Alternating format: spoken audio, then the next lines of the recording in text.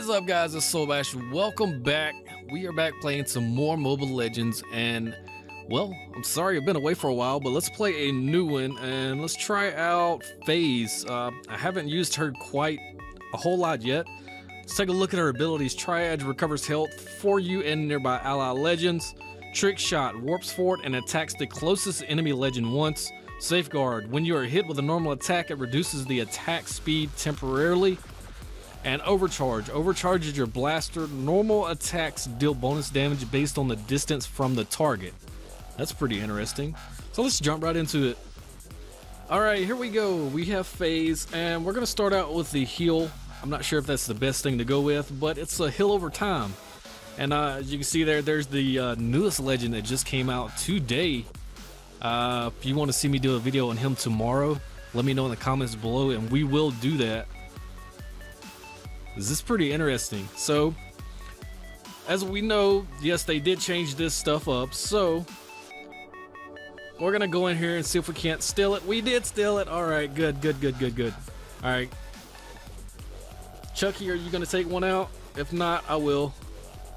Nice. So that roll does help. Tusker, you're running away too.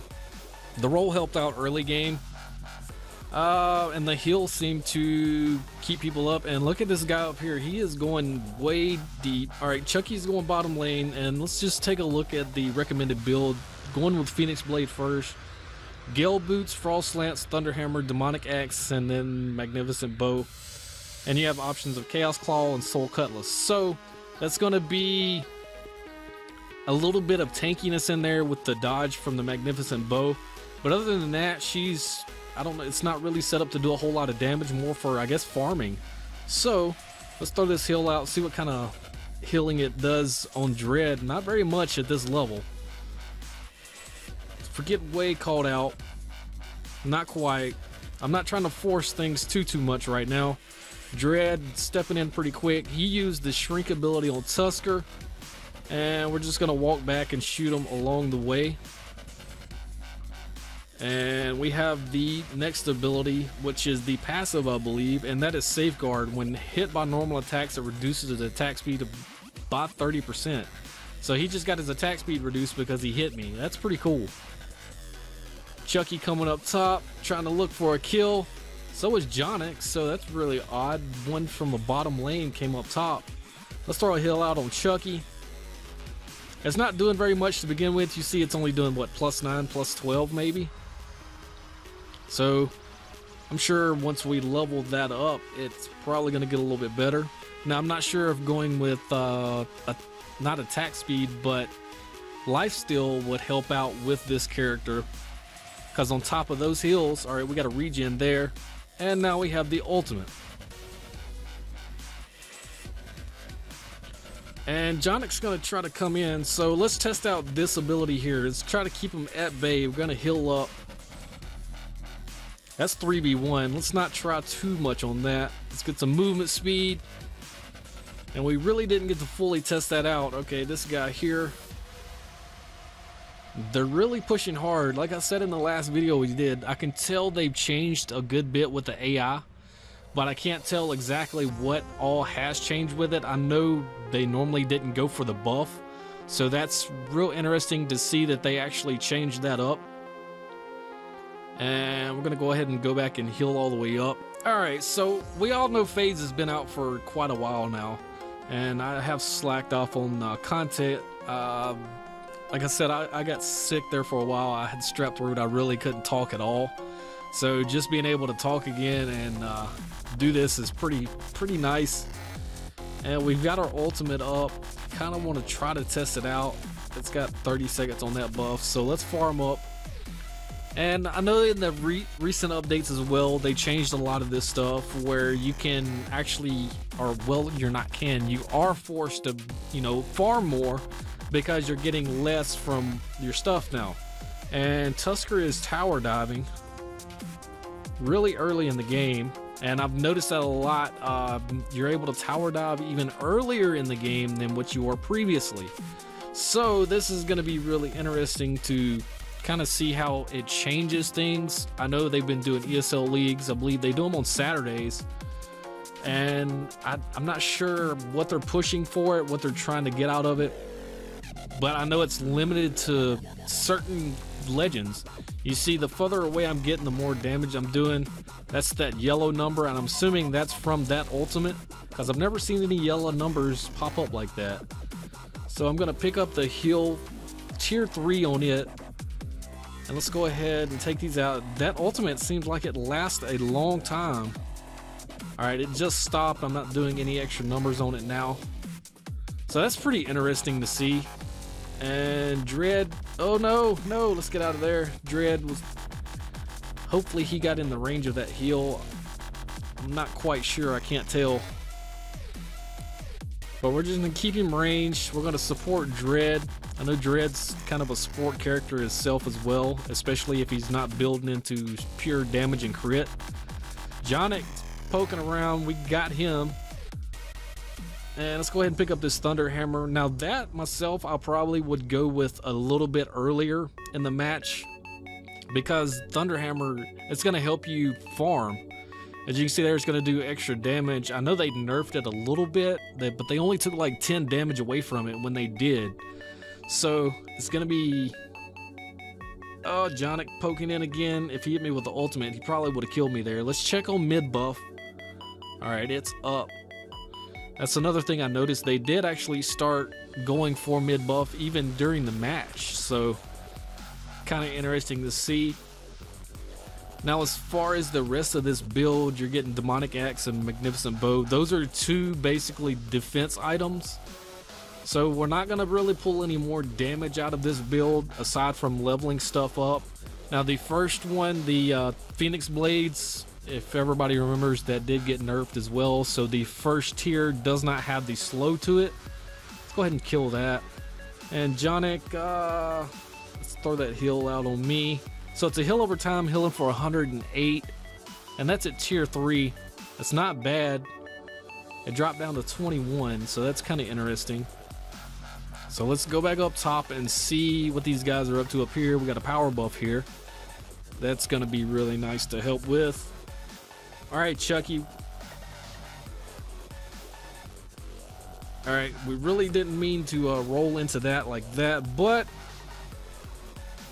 you can tell the damage. Look, the further I get away, the more it does, and that's the ultimate hitting on that. 63, further away 61, 49. So if he moves closer, so to be able to counter that, if I were you, even if she did use her ultimate, I would get closer. That way you could do more damage to these guys and if you outlevel somebody, it looks like you could possibly steamroll a match with this person. I know this is AI, it's not comparable to playing against other people. But it's just like any character. If you get a couple levels ahead, you can pretty much steamroll a game if you play it right. And are we going to get him? Not quite. Not quite. Alright, we got the uh, we got the Magnificent Bow, which is going to give us a little bit of dodge. Tier 2 on that is going to give you, I believe, 30% dodge. And that is unless somebody builds into the Soul Cutlass and max it out, which completely ignores dodge. And Tusker's coming back in, so we're going to throw Hill out. And that's interesting to see as well, because this is the first heal that's basically a heal over time. Uh, none of the other legends that have healing abilities can heal over time. So this is pretty cool, especially to have that type of addition to the game. Uh, so let's get away from here. There's Way. And Wei's going to try to run me down. So we're going to ultimate and just slowly walk away from Wei. Did we stay outside of there? If not, we're going to go in. We're going to just go for Jonik. All right, we got the uh, kill on Jonik. Uh, intentionally rolled the wrong way. And Chucky is up here doing work on this tower. Of course, he's not getting anything off of it because no minions are around. But he's really pushing hard on this. Uh, it's kind of weird to see he just literally killed himself, which is not good. Okay, so we ha now have the slow on that Phoenix Blade. And yeah, it's called Fire Blades for the second. So now we're going to be able to slow these guys down. You see the little blue thing, yeah. Which means I could now run somebody down if I wanted to. But now we're going to focus on getting away and getting that heal off. So we'll throw this heal in and let's see if we can't catch up with him. Teleport in on him. Now he's going to attack me, which is going to slow down his attack power with this character. I'm not going to force it, so we're just going to hang back. We're level 10. Uh, doing these, I always like to kind of try to max out level to 16. Uh, but I don't want to kill everybody just yet. I do like farming this stuff up and maxing it out so we can kind of see what these legends are capable of when you go in game. So what we're gonna do, instead of trying to force kills on them, I know I already took too many towers probably, so we're just gonna go around and kill stuff, farm up, and let's see what later towards end game she's capable of doing because that's what you're gonna want to try to do is level up. The farther you go away from everybody, the higher chances of you winning this game. Now, we got Fireballs up in the middle. I'm to peek over here and check on the mini boss. Okay, he is up, so we're to grab this power buff. We're to start taking their farm. And let's see if they can test any of it while I'm out here killing it. Now, I do have the tornado buff. This is to give me... Uh, I'm sorry, that was going to give me the tornado buff. This is the lightning buff I already have, which I think does a bit more splash damage and they're all still three up top. We're not going to upgrade the boots. Uh, let's go down here and go with the 30% dodge on this. That'll help me out, keep me alive a little bit longer, and just force these guys to run away. See, I'm now three levels ahead of that guy. So we're just going to go in through, catch up, whatever we... Oh, we got respawns right here again immediately. That's nice. Good little bit of gold, and Jonic uh, there was no uh, really saving him. So, come here, guys. I'm not sure if Dread actually outran that. He did. So, we're level 12, which is max out all the abilities. And pretty much from here on out, it's just all you're going to do is build on top of the...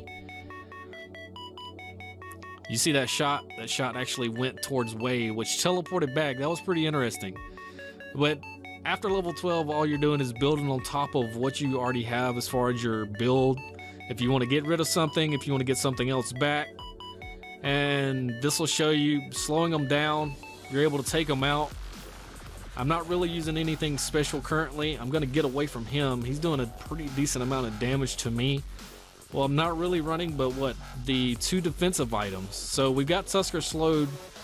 Supporting that's probably going to be a major role for this legend is helping support because of the heal. We'll go ahead and pick up the movement speed anyway. So just go up here. It heals everybody up. It does a pretty good job at healing them as well. I mean, it does a heal over time, but you're still going to be able to stay in there and help these guys out. Especially if some of them are running with life steal, that's just going to be an extra 100, 108, whatever it's healing for at the time. Uh, I'll do it again real quick and see if it scales per level. It was healing for 108 when it was maxed out a while ago, so let's take a look. It's still at 108. Um, as far as I know, I haven't looked or seen any items that do affect the amount of heals. Uh, if you guys do know of any items that do affect the heal amounts, uh, let me know because that would be something interesting to play around with. And that's what I mainly do with these things is I, I just test them, play around with them, see what's gonna happen. Oh, we did lose a tower down here. Uh, didn't really pay attention to that. So, let's kill this stuff. We're level 14. I'm gonna go over here and grab the, the fire giant. We're level 14. I wanna see what kind of damage or ability she's able to pull out against a boss. So, being able to keep herself sustained and healed up that's going to be one thing because she doesn't really have any kind of uh, life steal or anything like that. So we're not going to be healed up by anything but her heal. And the it's a 21 second timer on it. So the cooldown being 21 seconds, uh, there are items I do know that affect the cooldowns. Uh, coming in trying to steal the kill on it, but that's not going to happen. He got me caught inside of that. Uh, we got three seconds left on that, and then we're just gonna pop a heal again. All right, fire essence. So we have two lives now. Let's pop our heal. and regen's right there anyway. So that's pretty awesome. Come in, Jonic. Let's just roll in, pop the ultimate, and let's see if we can't get a triple. Can we get a triple kill? All right, Way. I need to get away from you to do more damage to you. And the further you get away, nice. That is a triple kill. Nice. So it's obvious that once you get so far ahead like this, you are going to be able to steamroll like that. And let's go back down here and take out some of these minions. If you guys have any recommended builds or questions about this legend, like I said in pretty much all these videos that we do on these guys, let me know. I have no problem testing any of this stuff out. And we're going to go ahead and try and finish up this match. We only need three more kills. So let's go up top and kind of end this. It's uh, been looking pretty miserable for these guys. Yes, it is AI. I do know this. And we're going to go in here and help our guys out. Have they taken this tower up here already? They have. So Jonic is here. They're all here.